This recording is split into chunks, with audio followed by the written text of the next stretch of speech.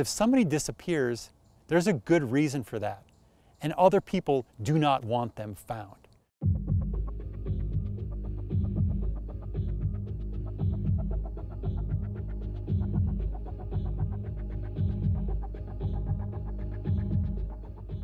We go to the edge of the world, to really some of the most extreme locations on Earth, following in the footsteps of other people who went to these locations but didn't come home. We ask hard questions, we dig around, and try to figure out what happened to them and tell their story.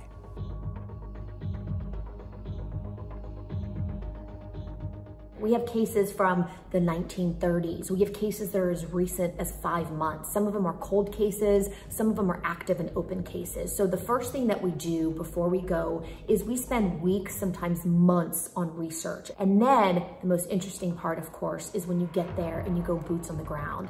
And that is always, for me especially, what really breaks the case open. Being physically in the space where these people were last seen, that puts you in a, in a mindset that helps you to understand possibly what they were thinking, how they were feeling, how external factors like the environment might have impacted them. And then once we're there, we start talking to people. Very often we get to speak to the families, to law enforcement, to people who are actually involved in the case, to then putting all the puzzle pieces together and then putting it out into the world.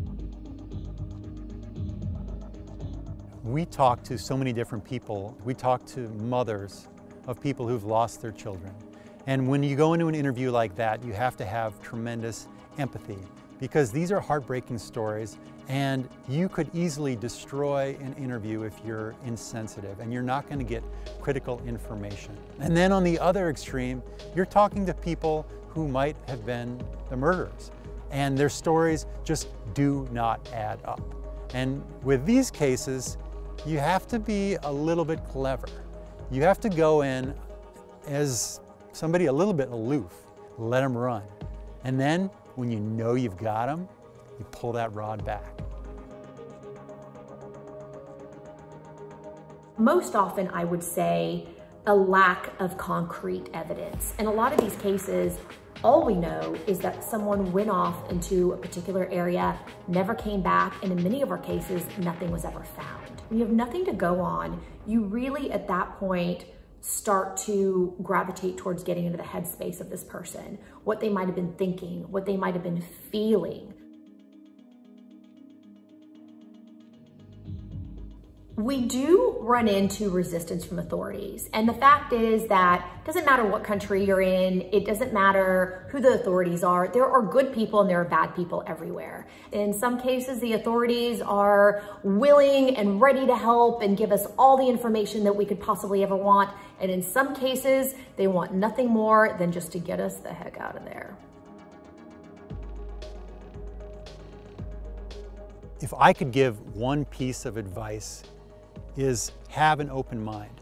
When I started doing this work, I was very rigid, very scientific, very much a person of reason. If it didn't make sense to me, then it did not happen. However, the more people that I met whose beliefs were different from my own, the more I realized I need to take that seriously.